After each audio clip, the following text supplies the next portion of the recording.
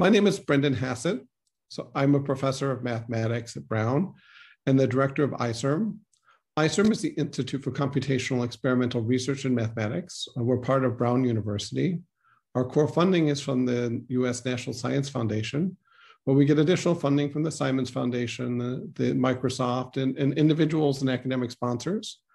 We're interested in promoting positive feedback between mathematics and computation, algorithm and software as an outcome of mathematical research, but also computational experiments as a source of inspiration and a testing ground for mathematical ideas. So Sabetta, uh, Elizabeth, I should be more formal in an introduction. Um, Matsumoto is an assistant professor at the School of Physics at Georgia Tech. She has undergraduate and graduate degrees in physics from the University of Pennsylvania and did postdoctoral work at Harvard and Princeton before taking her current position. Her research has been recognized in many ways, in particular by a career award from the National Science Foundation. And so this award has the best title I've ever seen in an NSF award. And so I'll have to share it. What a tangled web we weave, topology and mechanics of textiles. I've never had such a catchy title on any of my grants. Um, so so Matsumoto has been a really wonderful supporter of ICERM. She was a, a, leader of our fall 2019 program on illustrating mathematics, which brought hundreds of mathematicians and artists to share their insights on the representation of mathematical ideas through physical and, and visual means. We really look back fondly on this program as our last uh, pre-COVID program, and in some sense, it was one of our most dynamic and, and publicly engaged programs ever. We really really enjoyed having this group at ICERM, and we, we had a, a maker's lab and all sorts of cool things happening during that semester. Her specific area was a computational textiles working group. And so she led um, activities on hyperbolic quilting, and it was cool to have a hyperbolically curved uh, quilting um, product on site. And she's also written extensively on techniques of non-Euclidean virtual reality using software to visualize non-Euclidean geometry that was in some sense intended never to be connected to the real world. But nowadays we have machines that help us to visualize it. So we're really proud to have her speaking to, to us tonight. She'll speak on Knotty Knits An Evening of Math and Crafts. Thank you very much. Thank you, Brendan. Thanks everyone for being here. It's absolutely a treat to be back at ICERM, even if it's virtually. Um, I guess I, I recognize some of the audience members here as participants and friends from that semester. Um, and I guess I just wish I could uh, see all of you in person. So let me share screen. Um, and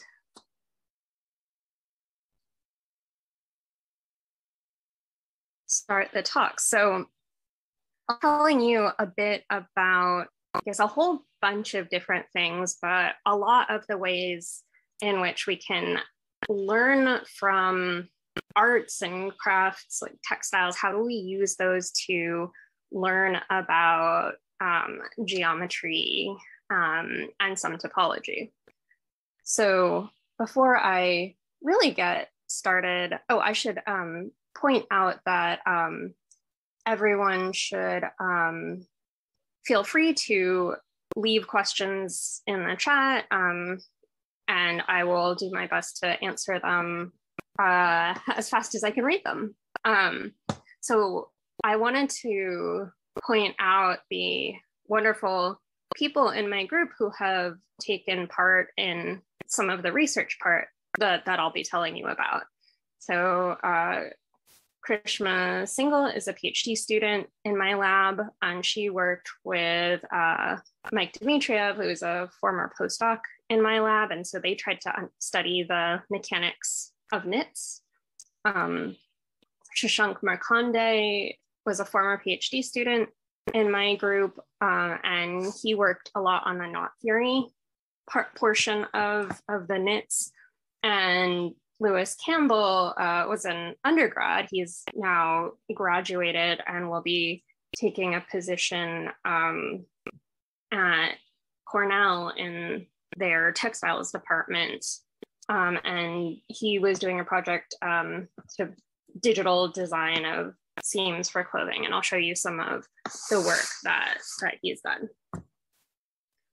So in our group, we like to think that knits are a type of coding. So you may have heard um, that the uh, Jacquard loom was the first digital technology. Um, so this is um, a picture of what the, the loom would look like.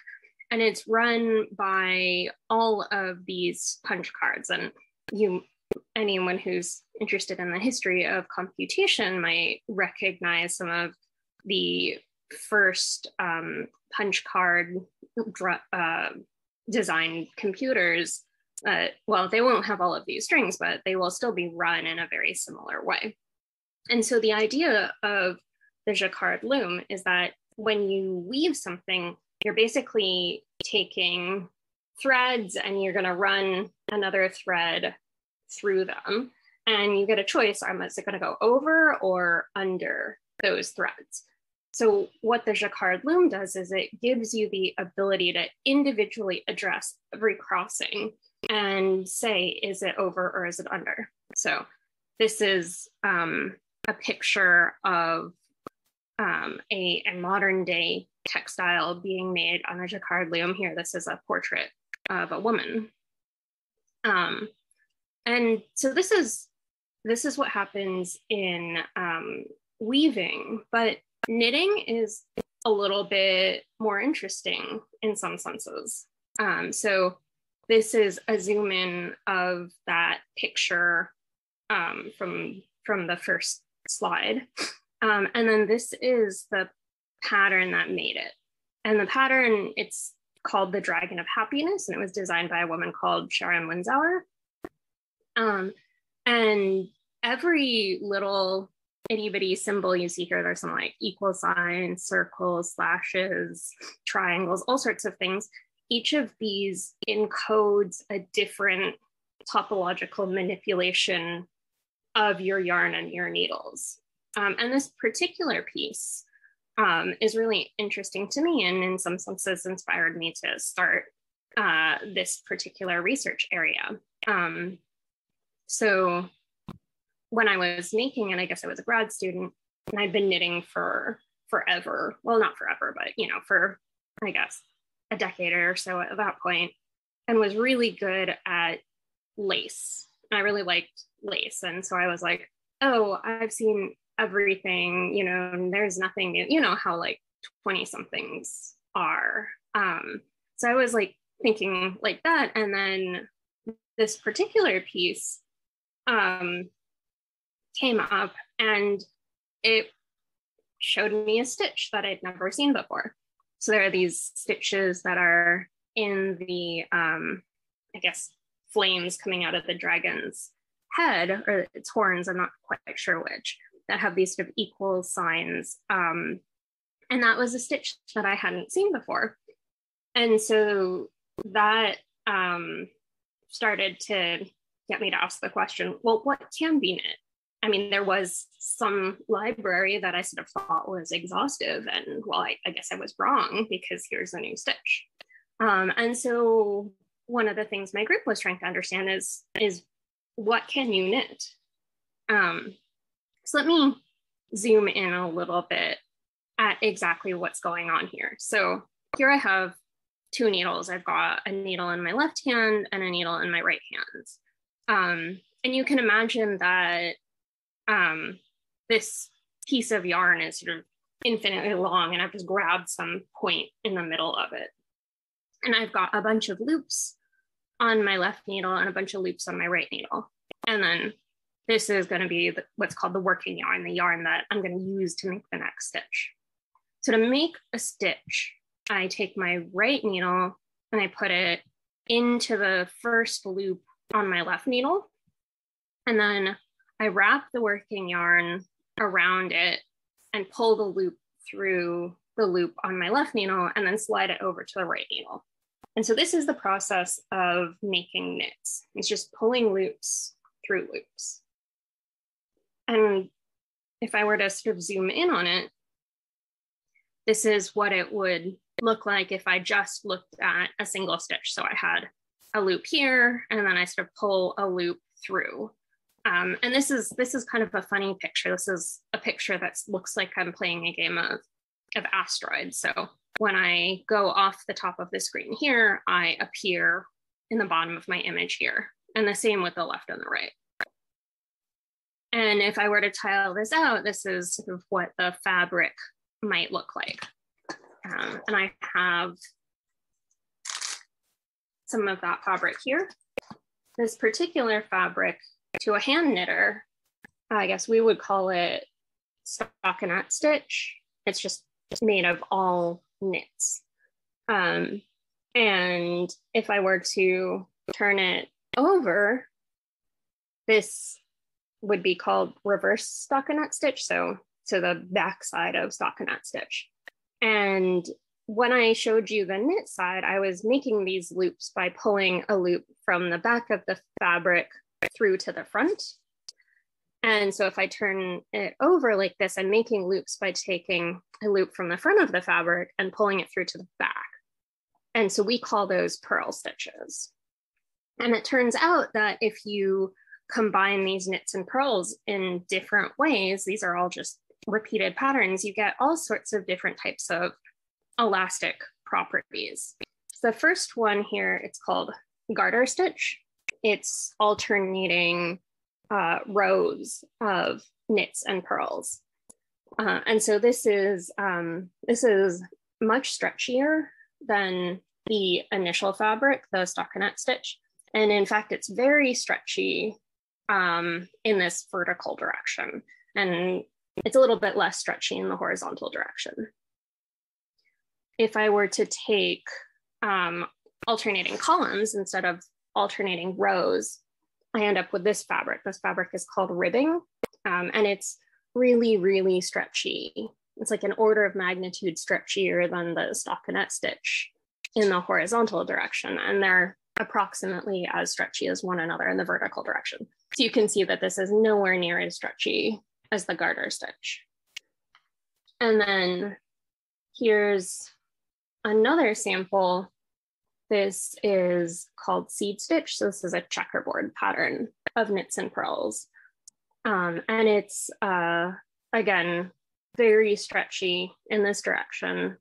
And it's about as stretchy as garter in this direction, and maybe just a smidge less stretchy in this direction. So it's pretty stretchy, but not quite as stretchy. So my uh, student Krishma Singal and former postdoc Mike Dimitriyev were studying what it is about um, the geometry of these stitches or, or the topology of the knots that are made from them. Um, as like what is it about that that makes these different textiles have such different mechanical properties? Like it seems like they should be the same. I'm just pulling loops through loops but they behave really differently. Can i ask a, a question so yes, please. the seed stitch and looking at the design mm-hmm. is it symmetrical under rotations by 90 degrees or uh, i so, mean it, knits themselves aren't symmetrical under rotations they have a they have a, a direction to them so if you kind of look at the crossings if it, i oh, were to look at this i have like one sort of crossing horizontally and two vertically so if i were to rotate it i'd have two horizontally and one vertically so it's already kind of broken rotational symmetry that way i understand all right thank yeah the, the K and P design is symmetric, but not the the the the, the fabric itself. All exactly. right. Exactly. Thanks. Are yeah, and everyone, feel free to jump in with any questions you have. Are there and if there are other questions, um, feel free to put them in the chat, and and I will I will ask ask the speaker. Um, so we you know we'd love to hear questions and comments. So thanks. And I will be asking you some questions and comments later. So stay close to your keyboards. Um, so I said knots. So what do I mean by knots? Um, before I get there, I have to tell you something about symmetry. So as Brendan pointed out, there were some symmetries to the pattern and then some symmetries to the uh, object itself, the, the knit stitch that weren't quite the same. So the pattern had this rotational symmetry, but the knit stitch itself doesn't. So the definition of symmetries is a symmetry is a transformation or like a motion of the object that leaves it looking the same. So imagine I were to pick this tablecloth up and rotate it by, I think there are 12 of these, so I rotate it by 1 12th, and I end up with a tablecloth that looks identical to this. So that's a symmetry.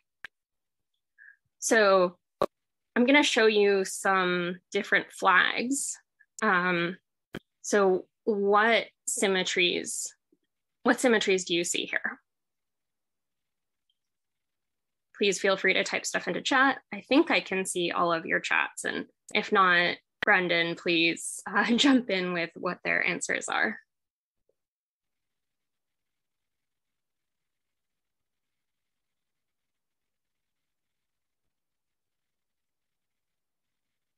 So I guess these are some sort of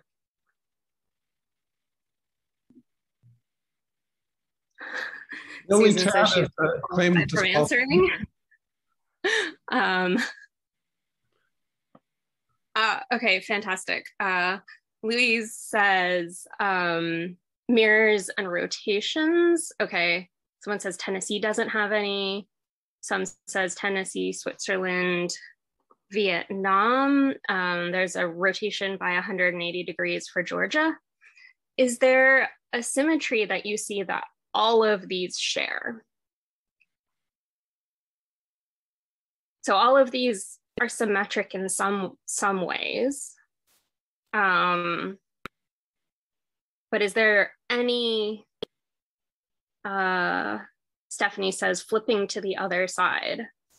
I'm gonna I'm gonna say yes um, in uh, a slightly qualified way. Um, and Susan says it depends on if you care about the flag rectangle, and I don't care about the flag rectangle. So um, I'm just I'm gonna ignore the fact that these are in a rectangle and just let the pattern continue on forever. Um, someone retracts their claim about Tennessee excellent. That's great. So, um, and Susan says, I agree. They all have reflections. Um, and someone says, all the red parts have symmetry. Absolutely. All the red parts do have symmetry. Um, so, so yeah, all of these have, have reflection symmetry. So they're all mirror symmetric and they have different numbers of mirrors needed to uh, make their, their symmetry. So um, so Albania has one mirror, uh, Georgia has two mirrors, Tennessee has three, Switzerland has four, Vietnam has five. Uh, I'm sure something has six. I don't think anything has seven, and Macedonia has eight mirrors. And the great thing about these types of symmetries is that you don't actually need the whole design in order to get all of the information about your piece. So each of these is each of these dark colored sections is all the information you need to know to recreate the entirety of the object minus the borders um, what about what about these so here I'm gonna ignore, I'm gonna ignore colors and ignore the stripes, the, the sort of cuts in the stripes on South Korea. What types of symmetries are common to all of these flags? They're also the United Kingdom's a little, a little iffy.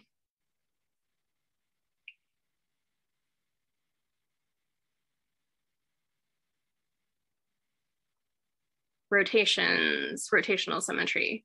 Excellent. So these all have rotational symmetry. So if I were to, again, look at each of these, um, ignoring their colors, I have 180 degree rotational symmetry about the center for both South Korea and Maryland. Um, the Isle of Man um, is one of the one of just the coolest flags. Um, I think it has 120 degree rotational symmetry. Um, NATO has 90 degree.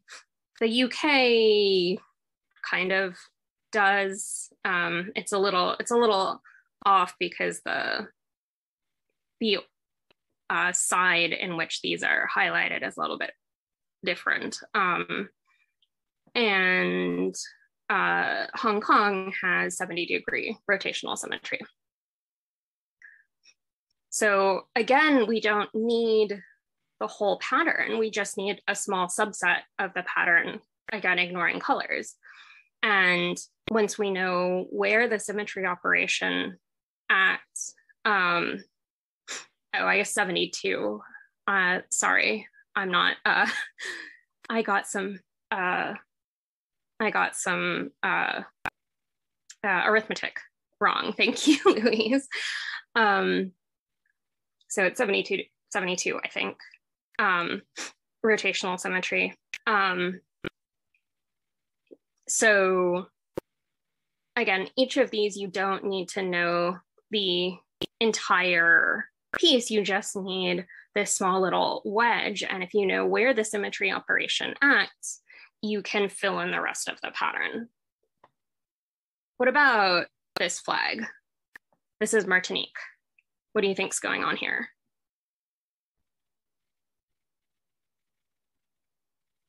I mean, just a shout out. I have to say, this is pretty awesome that you've got um, but like these dynamic snakes on your flag. That's probably one of the coolest flag motifs I've seen. Um, I don't know.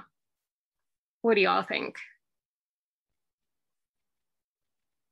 Okay, translational. Yes.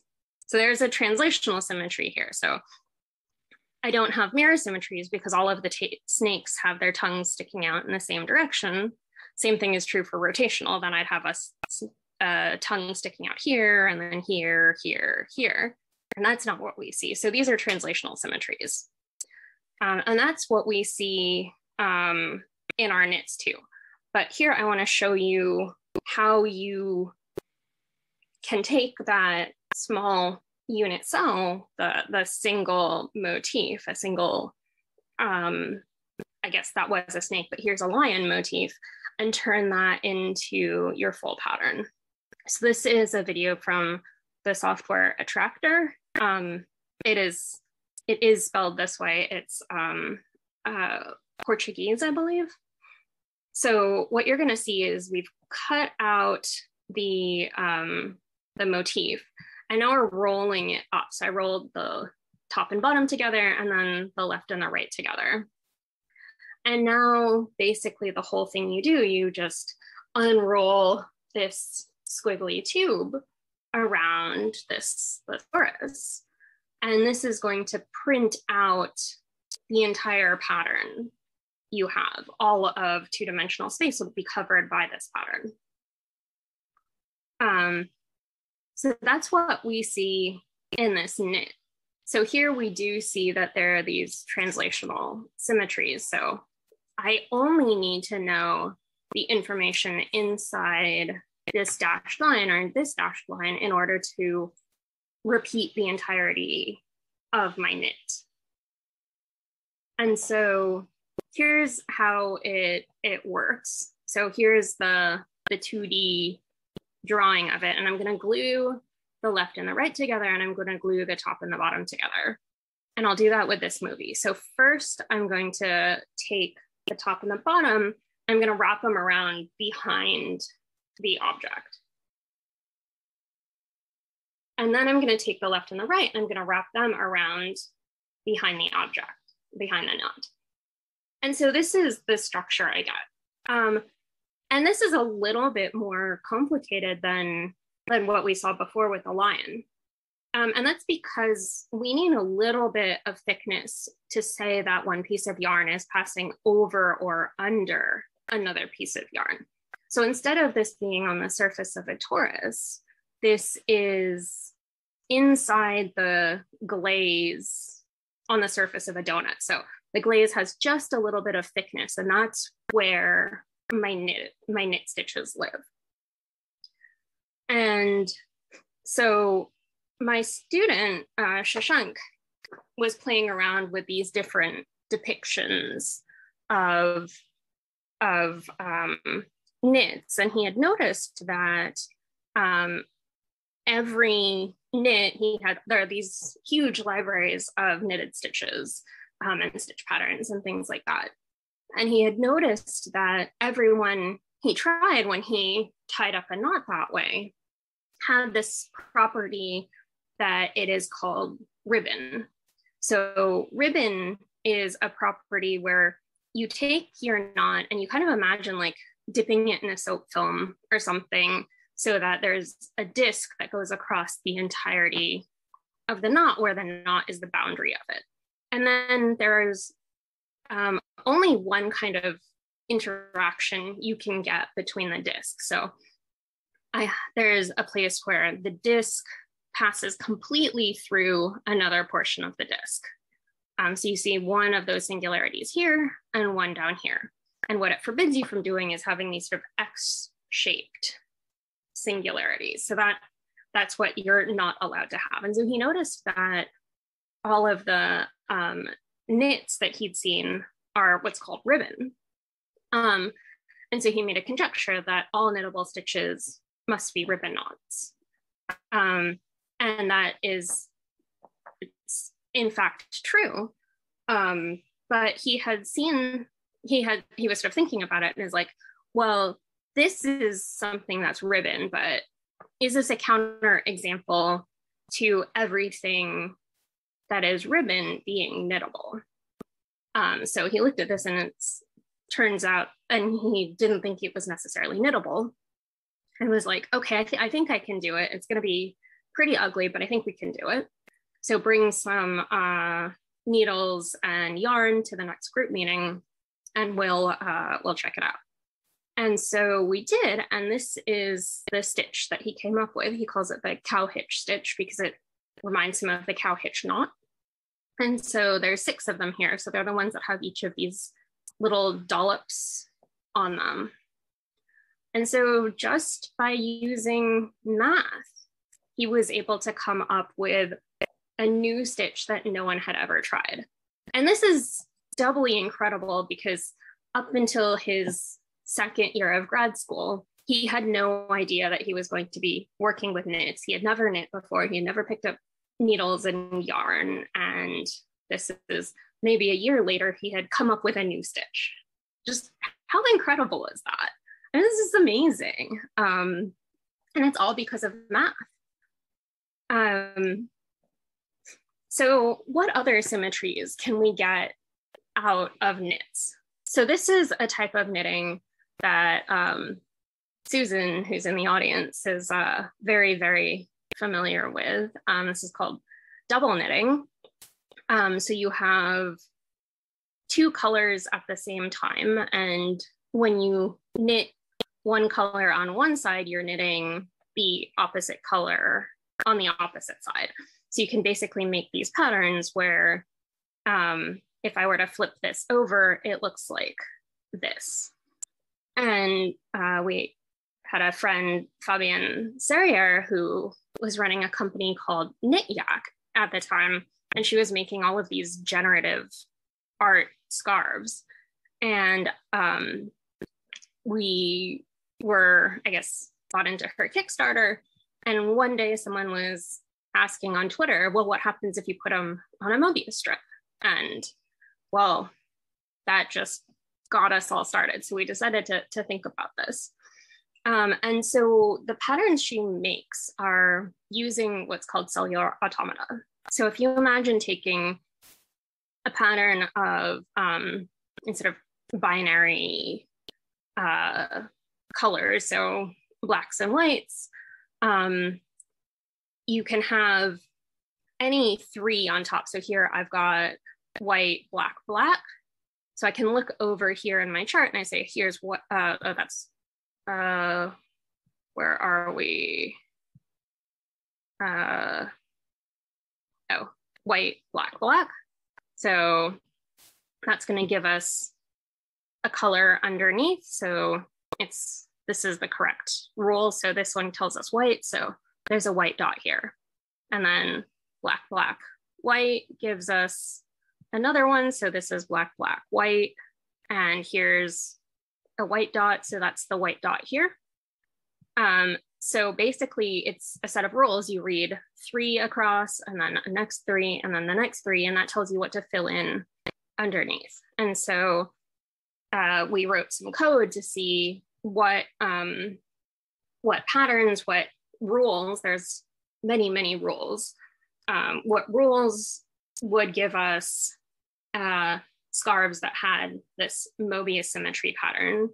Um, so we wanna make sure that when we, our starting row is gonna be the same as the opposite side of the fabric. So that's sort of the rule um, of of um, uh, double knitting is that you know turning it over gives you the inverse of it. So we wanted to make sure that that that went through. So we wrote code and we found these. These are two different rules, um, and these give us two different scarves. So this is sort of following around, I guess, one side of the Mobius strip, and it's going to come back around the other side. So this is what the pattern looks like across the entire scarf. Um, and then it repeats because now it's on the opposite side. So the opposite side has to, because it's got a twist, has to come back with the same original pattern. So there's other kinds of symmetries that we didn't talk about. So here's a couple of different types of symmetries. These are the same ones we saw in the flag. So this is reflection. So we can again look at the minimal um, a sort of fundamental domain, this minimal set that's needed to recreate the entire pattern as long as we have the rule about the mirrors. So mirrors are basically just unrolling, like flipping this guy back and forth. And you can, again, tile out the entirety of the 2D plane with this. And again, this is all animations made by um, the Atractor software. Um, and here's another one. These are rotations. Um, so there's a place here I have a uh, six-fold rotational symmetry. I have 120 degree rotational symmetry here, and I have, um, oh, sorry, 180 degree rotational symmetry here and 120 degree rotational symmetry here. And so mm-hmm. I can create a pattern just by looking at these guys. So those are the centers of symmetry at the corners of this. We're, to fold it up again, but now we're going to create an empanada because the left and the right side aren't quite the same. Now you're going to, or a samosa. Now you're going to roll this empanada or samosa out and it's going to alternate printing front side, back side, front side, back side. And as it unrolls, it's going to completely cover the plane and you end up with this pattern.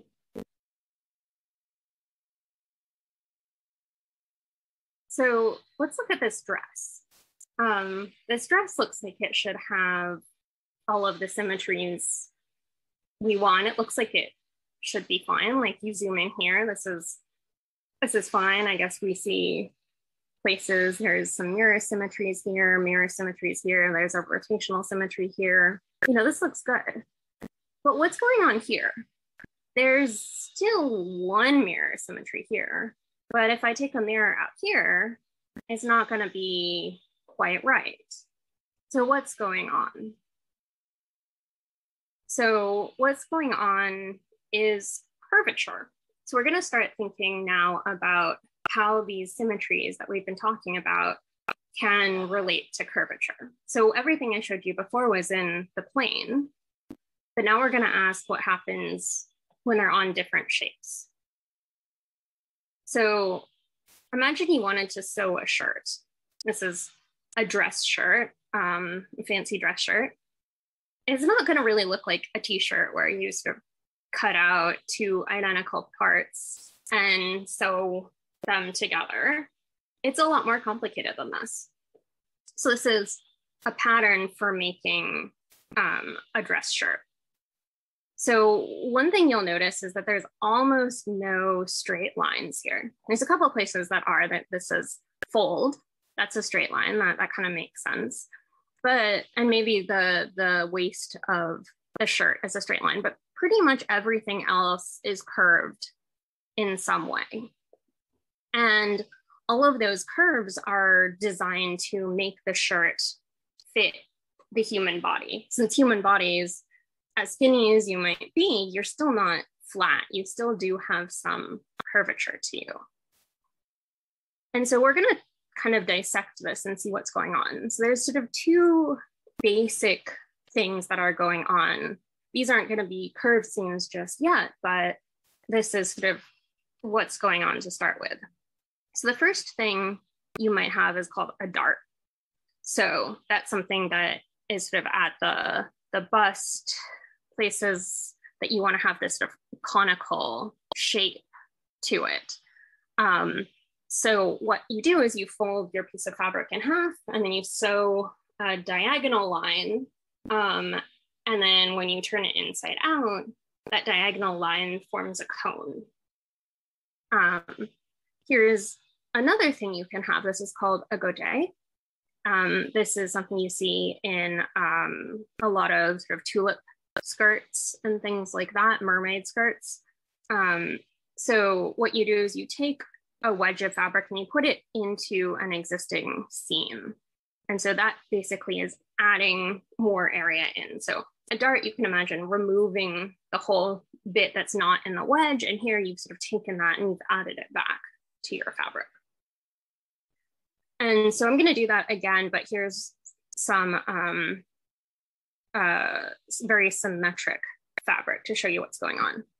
So here I've cut out one sixth of my fabric. So now there's, um, here's 300 degrees left over and I'm gonna make a cone now. So here, instead of um, 360 degrees about this point, there's only 300 degrees. And instead of a hexagon now, I've got a perfect pentagon. Um, so I've removed this area and turned this into a cone. Away from this point, it looks fine. This looks like it has six-fold symmetry in these sort of local areas, but at some point that's going to, to, to get disruptive and that those points are the points that have curvature to them. So now imagine I took this wedge I cut out and I wanna insert it into a new piece of fabric here.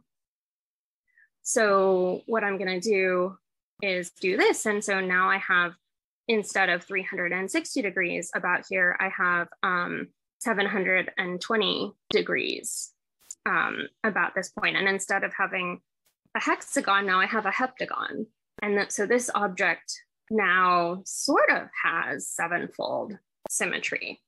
And again, it can't lie flat in the plane. And this time, instead of forming a cone, it's all roughly. So I've got too much area to fit it inside the plane. This is uh, the bodice of a dress that was made by uh, friends of mine. So Andrea Shuey is a costume designer and Robin Selinger is a physics professor. And so they decided they wanted to make um, Oh, I said 720. Yes, I mean 420. Thanks, Susan.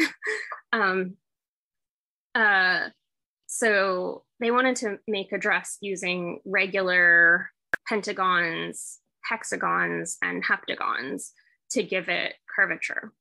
Um, so you can see that the pentagons are used at the bust. So these are places where you'd want sort of conical symmetry. And the um, heptagons, the, the sevenfold symmetry, are going to be used around the waist. So places where you have the sort of saddle-like structure. So it's going to curve out here, but curve in along here. Um, so this is, um, this is again, now what you might do um, if you wanted to have curved seams. Uh, so this is joint work with Lewis Campbell, who's um, an undergrad in my lab, and Kelly Depp, Delp, the Kelly Delp, who's in math at Cornell. So imagine you wanted to make a scarf and you started out with these puzzle pieces. Um, all you need to do is sort of cut out some number of these pieces and just sew them laterally together. But now imagine if I sort of zoom in on this, um, really, really small, I have these angles to them. So I've got alpha on one side and beta on the other side. Now I can imagine sort of changing these. So here I've made beta a little bit bigger than it was before. So this here I've basically added in this tiny, tiny wedge of area right here. And then I sew it back together. So it's gonna give me a little bit of negative curvature. But instead of having negative curvature just at every point, I wanna distribute it smoothly along the entire surface.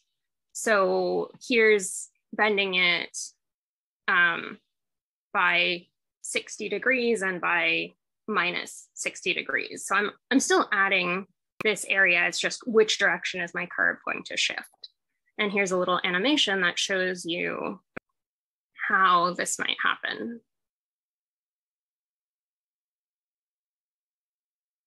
So this is, this is, these are the, the new curves right here. Um, and so now these curves, if I sew this curve over here to this curve over here, now I've got this angle, this extra 60 degrees smoothly distributed throughout it. And this is one of the two um, pieces that we ended up making. So this is the plus 60 on this side and the minus 60 on this side. There's another one where we take the same curves, but have them rotated with respect to each other.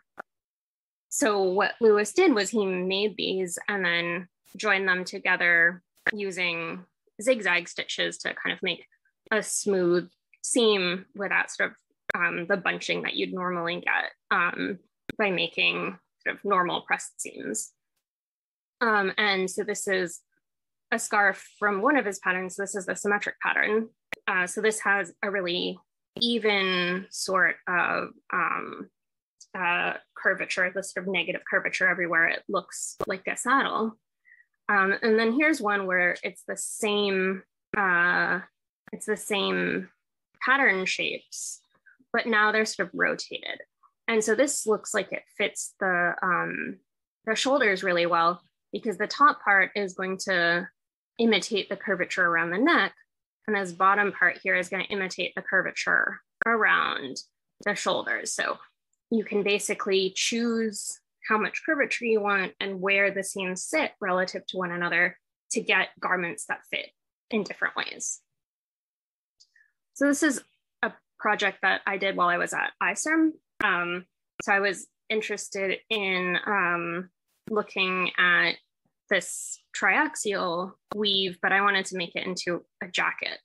Um, so basically, it turns out that straight lines on the surface turn into straight lines in the plane by a very specific definition of straight.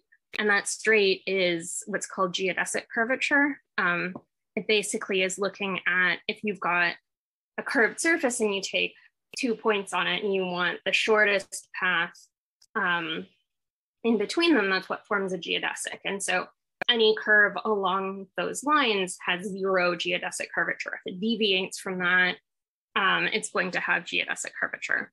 And so the geodesic curvature on of the curve on my body is the same as the geodesic curvature of these flat strips in the plane.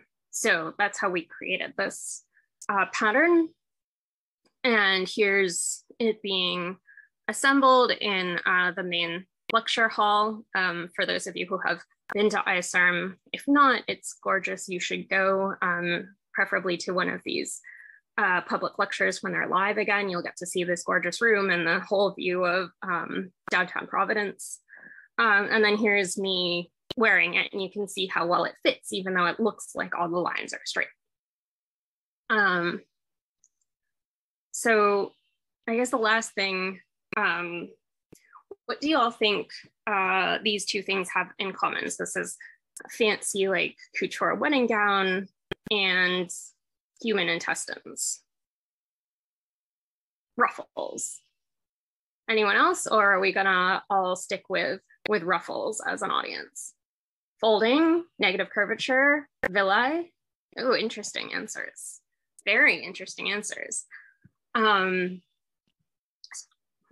lots of length and little volume. Yes. Yeah, these are fantastic. Yeah. This is this is these are fantastic answers. Um so the answer I had written was negative curvature, but all of these are correct. Um although I'm to say villi is a little bit different and ask me again in the question and answer session about that. I won't quite have a chance to get there here.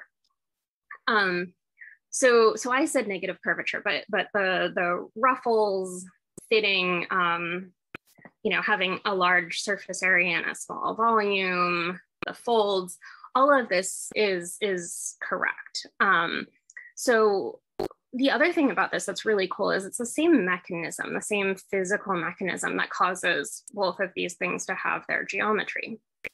So in the dress, what happens is you have um, some, some boning or something that's stiff and some tulle. So tulle is the, the mesh stuff, it's quite stretchy.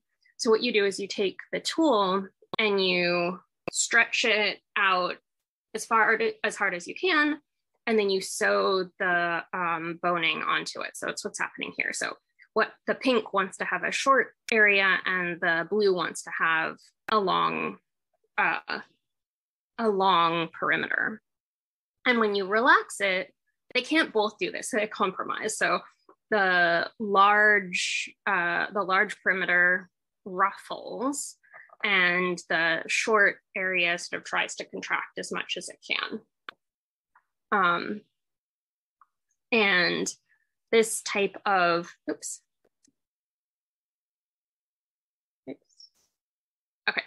Um, so what's happening in the human intestines is um, is similar. So when we're all embryos, one of the the first things that happens is um, you undergo what's called gastrulation.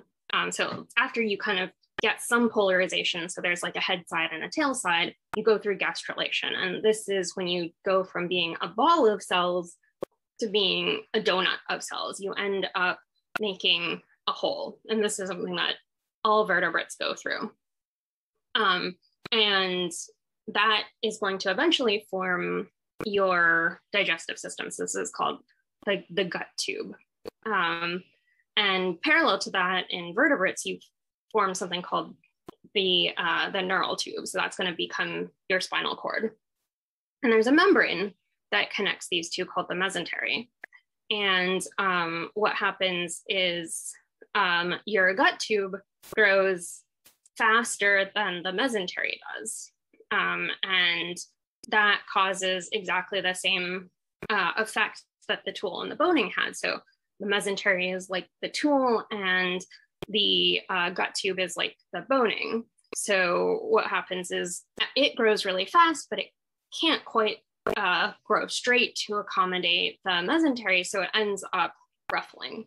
And that's why if a doctor were to go in and do an operation on me or you or anyone else, they look basically the same. It doesn't look like someone just took some rope and just shoved it into our guts. It's all um, this geometric process. Uh, does the, me the membrane disappear in adults? I, I, saw that there's one question um, above that, but I'm gonna get to you a little bit later, but does the membrane disappear in adults? Um, no, it doesn't. There actually is um, a membrane. Um, it is where a lot of the um, blood supply to your small intestine runs through that. Um, so that is still there. In fact, it's just not something that gets in the way of anything. It's just, um, it sort of holds everything together a little bit. Um, see. So, uh, let's see, I was gonna say one more thing about negative curvature, and then I will take some questions. I will remind me to answer uh, the villi question and Stephanie's question about DNA.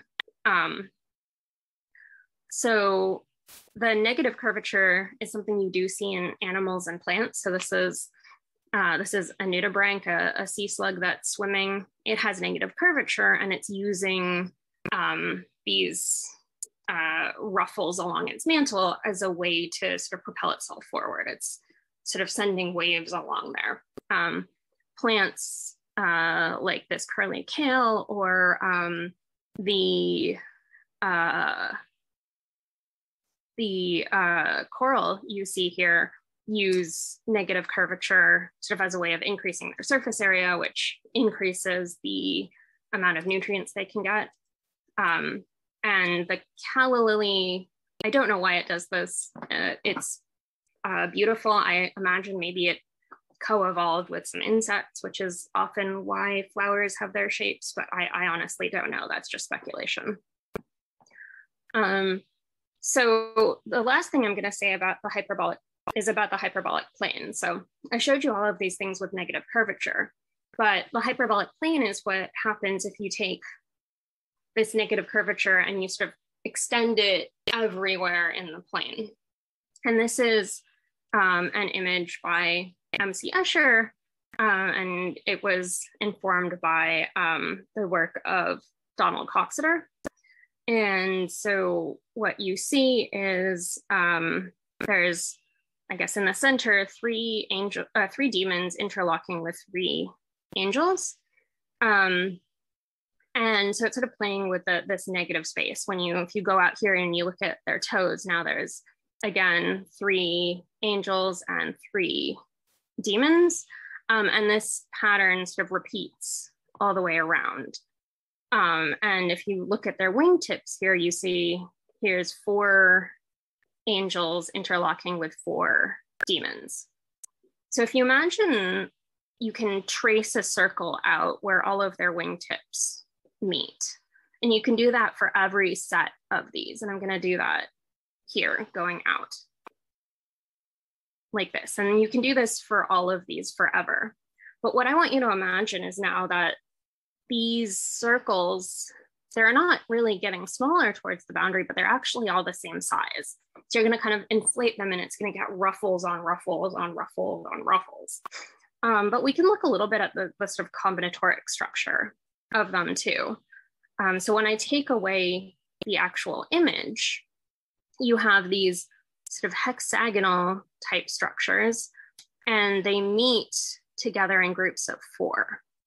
Um, so this is something you can imagine taking hexagons, so like this, and um, putting four hexagons around every vertex.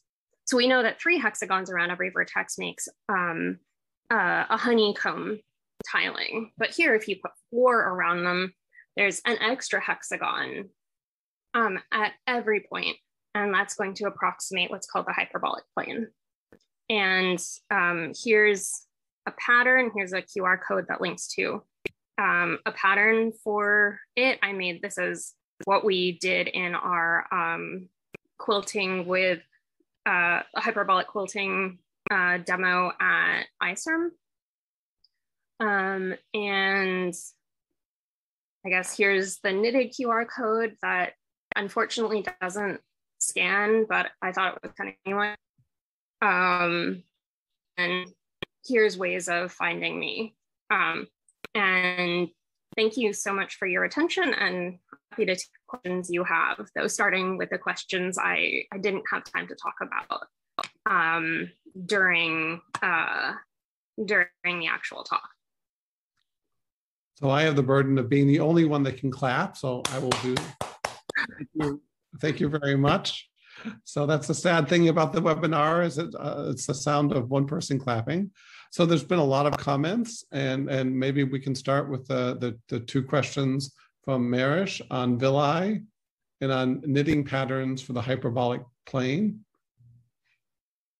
Yeah, so villi is a really interesting question. And so that's another one of these things that um, is based on the sort of elastic mismatch. So the one I showed you, um, they're they're sort of parallel to one another. I have one material here that's stiff and one material here that's soft. What happens with with villi is they are glued like this. So I have one material that's stiff here, and then I have a material that's soft that um, I guess you sort of stretch it out and then glue the stiff material onto it. And then as it the soft material contracts, the stiff material bunches up and it makes these wrinkle patterns, and those are what end up forming villi. Um, then the other question, I saw it was about DNA, but my control, uh, I guess it ended up being half overlapped by uh, the control buttons on this. Um, could you possibly read it, Brendan? Yes, there was a question. Um, it's interesting that all these things fold, but DNA and other proteins need something to fill the negative space. Okay. So yeah, so so I guess that's a really interesting question. So DNA and protein folding, I guess, is oh, that's a that's a very interesting question. So there's a couple of different things that go on. So um, if you look at all of the DNA in every cell, it's something like two kilometers long. Um, and you can imagine a cell is like a micron big. So you have to get all of this DNA into a small space.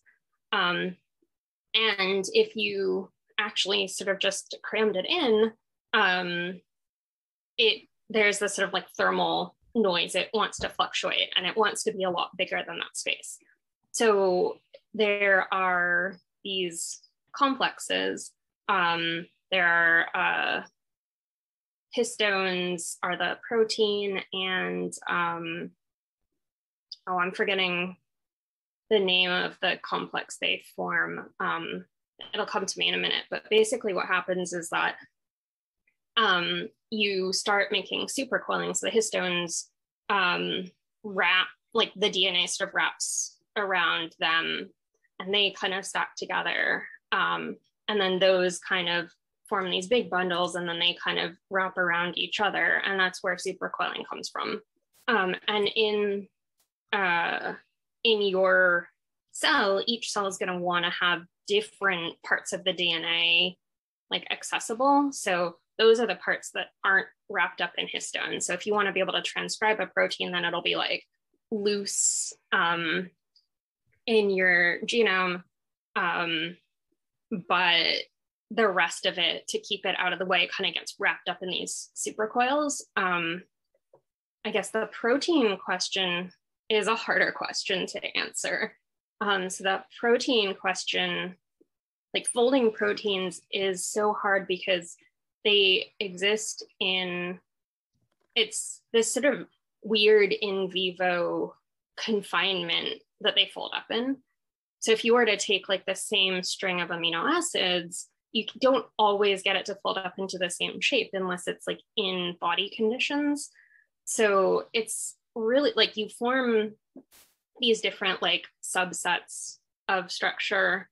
Um, there's like um, alpha helices and these beta sheets are kind of one set of structure and those form pretty regularly, but then how those kind of con- like fold up can re- depend on like is the um uh I think are they, are they called ribosomes? I'm forgetting the term, but the the structure that they kind of get assembled, like each protein gets assembled through, gives it certain confinement, um, and that directs a lot of what the like 3D structure is.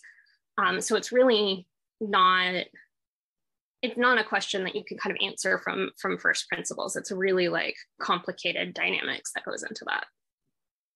Let's see. I'm going to ask a couple more questions. Um, so one is, is there an introduction to knitting theory for abstract mathematicians? And do you also crochet?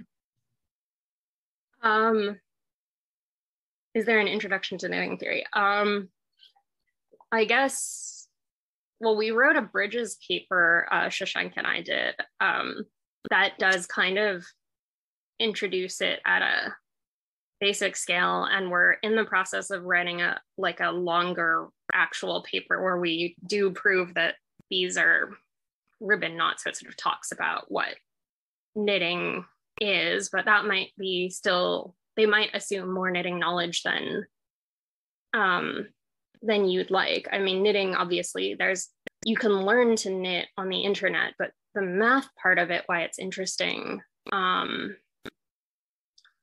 oh gosh, I'm not 100% sure. I don't know. Susan, who's in the audience, if you know anything better, can you throw out some um, some references? You might have um, you might be able to think on your toes a little better than I can right now.